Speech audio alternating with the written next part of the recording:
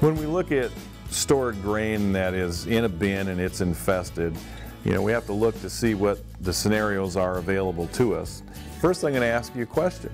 Are you going to keep this grain for a period of time or are you going to get rid of it within the next 90 to 120 days? If you're going to get rid of that grain, if you've got it sold and you need to get it, get it delivered to market, I'm going to go with the recommendation that we would use our Centynal EC and then we would also add in our PBO8. PBO8 is a synergist that's going to inhibit the insect's ability to metabolize it. That's going to give you a 90 to 120 day residual and it's going to kill all of those live insects and anything that would come out from the seed at that point. And let's say that this grain is going to be held for longer term storage.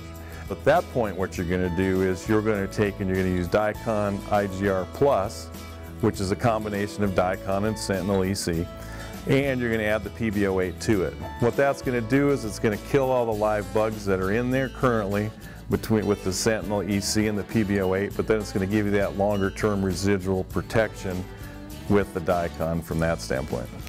In our research, what we've seen is, is that if we use the Centynal EC at a part per million, we will see that we will get roughly between a 40 and a 60% mortality.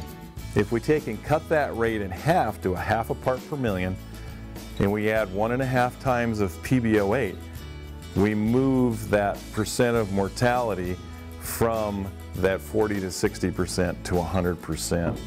And that's what we want to go for. That's what we want to look at, is getting it to that level